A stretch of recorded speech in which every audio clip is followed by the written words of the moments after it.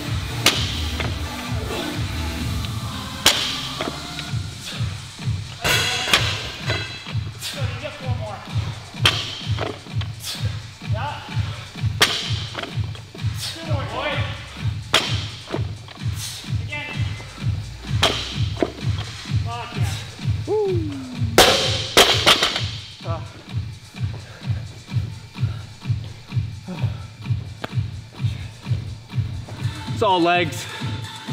Uh, fuck, he was fast. I was hoping to catch up on pistols. I was only at like 20 or something when he was done. Uh, You were moving a lot faster than he was on the pistols. Well, my thought was faster on the back half of the workout. Pistols were the workout. But I don't know. The bike was hard to maintain. I don't know what I would have done differently. But that was good. Not really a breather, just legs. You can flush while you go, kind of what the bike is for. But you still have to find that like push a little bit to be competitive. That's tough. It was fun. wasn't pistols weren't as bad as I thought, and it was definitely like I think he said is just legs, but I was happy because I set set the goal of holding on unbroken on the first round, and then two sets like at most on the second. But I I got halfway through and I was just like just just fucking hold on. And if you fail, you know where you're at. And so I failed my eighth one and just held on for for two more, but. That was a good go though. Yeah, Good effort trying to get 10. yeah, Like why not? right. Yeah, 150, 155, that's not gonna happen. My time might have been faster if I did intentionally broke it up or even singles, like if you're fast enough, but I don't really gain anything by that. I need, I need to get better with the barbell, so that's the goal. That's what I did, so.